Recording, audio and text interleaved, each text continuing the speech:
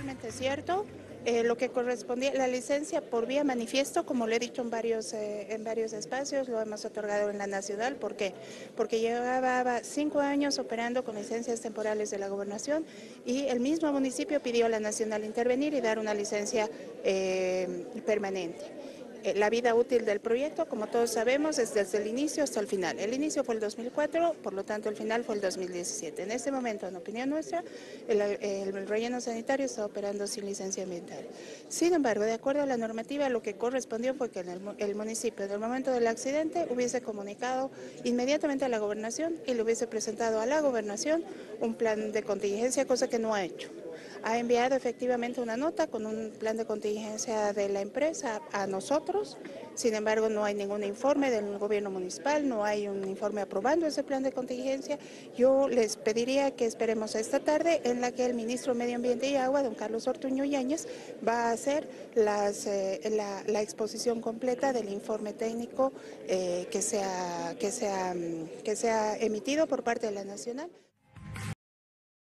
A una semana del deslizamiento del relleno sanitario de Alpacoma, donde se movió más de 850 toneladas de basura, provocó que comunarios del municipio de Achocalla bloqueen el ingreso al relleno sanitario en solicitud a la alcaldía de La Paz de cerrar dicho relleno. Esas movilizaciones provocaron que en La Paz, por falta de un plan de contingencia por el burgomaestre paseño, se genere la falta de recojo de basura en las calles y los centros hospitalarios, los cuales provocarían la generación de infecciones en los hospitales señaló el presidente del Colegio Médico. Sí, en este momento los eh, desechos patógenos de los hospitales son los que nos preocupan porque no hay dónde dejarlos y esto pues lo que contribuye es a una infección nosocomial, ¿no es cierto? Y eso es, por eso decimos hoy día que las autoridades deberían ah, sentarse a, dialogar y darse un plazo de seis meses para construir otro botadero y dar las condiciones a la población. Además, el viceministro de Salud informó que la falta de recojo de basura en La Paz está generando la acumulación de residuos patógenos, es decir, basura hospitalaria,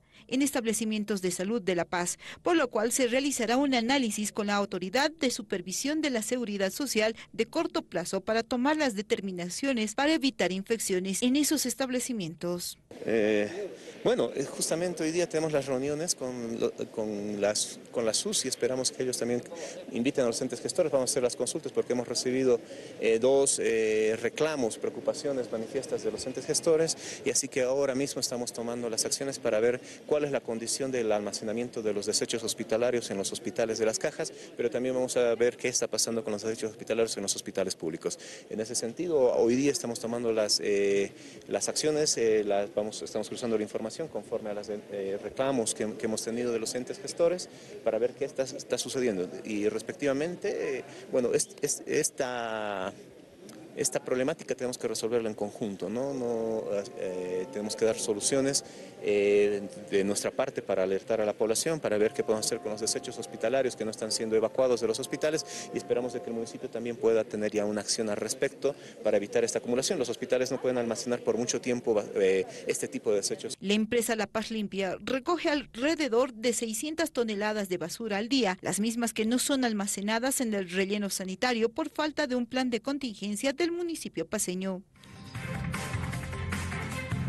No solo preocupa el tema de los centros hospitalarios, de las clínicas por la acumulación de basura, también se está pidiendo un informe a la Defensoría de la Niñez para ver eh, la situación de los niños que se encuentran en inmediaciones del relleno sanitario.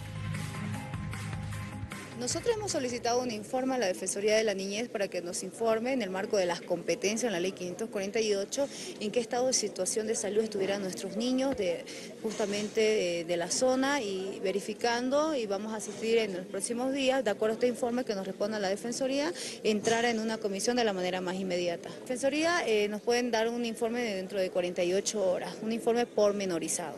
Nosotros de acuerdo, eh, lo importante es la situación de los niños, el estado de salud de los niños. Primeramente queremos ver el informe y, no todavía anticipar tal vez hecho de acuerdo a un informe que no tenemos conocimiento. Si hubiese sido, eh, si hubiese realmente, si existe vulneración de derechos, nosotros vamos a presentar nuestra denuncia ante el juzgado competente.